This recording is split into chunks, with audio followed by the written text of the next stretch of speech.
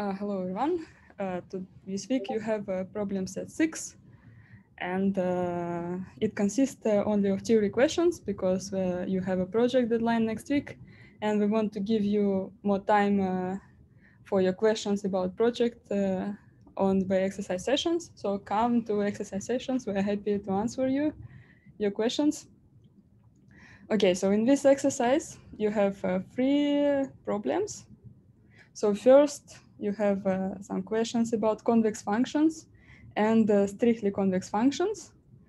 Uh, and uh, you are asked to prove uh, some uh, properties for these convex functions. And these properties are useful for machine learning, like functions usually to prove to prove a convexity. So first, like you have some affine function and you ask to prove what is convex when what the sum of convex functions is convex. And then uh, like what the composition of convex uh, and increasing function is convex. And then uh, like what the composition of convex function and affine function is convex.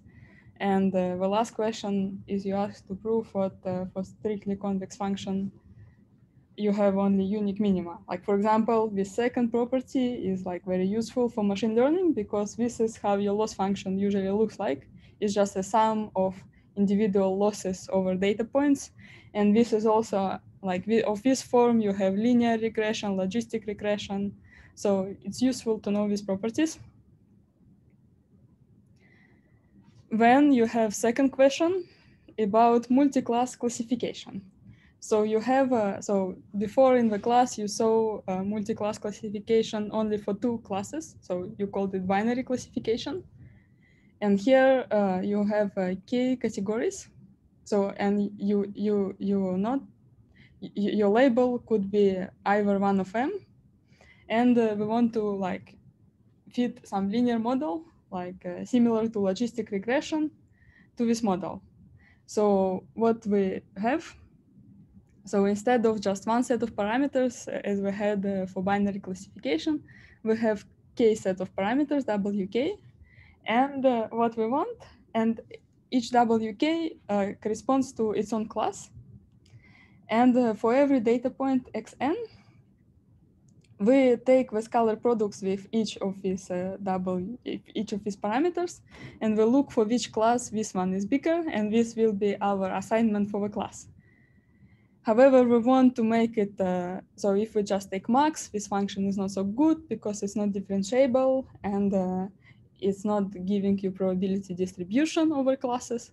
So what usually people do is they use this softmax function, which is given like this. So this softmax function in the end gives you probability distribution. So you have uh, a fixed data point xn, and the probability of this data point to come from the from the category K is given by this expression. So you like on the top, you have exponent and uh, in the denominator, you have some scaling factor, which is, so the scaling factor is the same for different, so for all the classes, it's the same.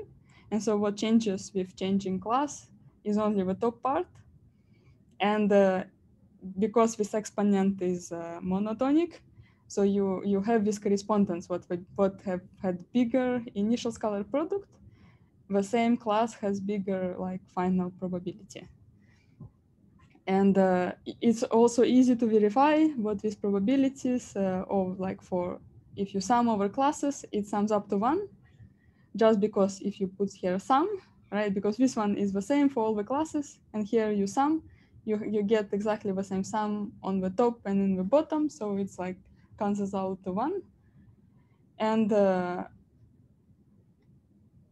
and uh, when you also like as in logistic regression, you assume what uh, samples coming independently, and uh, you, you can write your joint distribution as a product of individual distributions of uh, probabilities of every data point. And uh, in this question, you asked to derive log likelihood when the gradient with respect to wk and prove what this log likelihood is a convex function. Okay, and uh, in the last uh, in the last question, you asked uh, to work with this uh, mixture of linear regression, linear regression, and uh, so instead of having just so what you have, you have uh, k mixture components. So and every mixture component has its own wk from which this data came came from, like the distribution. So, so how is this data, like your data set if and pairs, how is it, like if, if you assume it comes from this normal distribution, how would it look like? It would look like uh, on this picture. Okay, uh, so, so this is, for example, this W1, this is W2, and your data would have like would be like normal around these lines basically.